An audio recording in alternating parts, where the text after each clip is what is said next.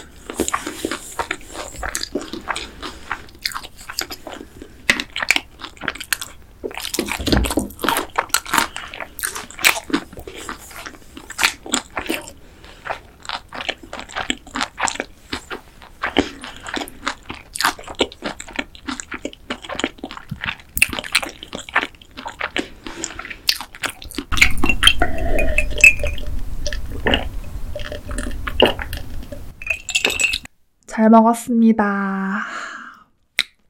맛있다.